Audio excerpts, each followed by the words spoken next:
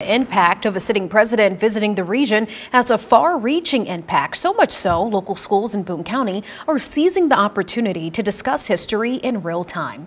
The Belvidere School District is preparing for the president's visit with shifted lesson plans and information for both parents and students being sent out. For the district, this rare moment is something they're taking full advantage of.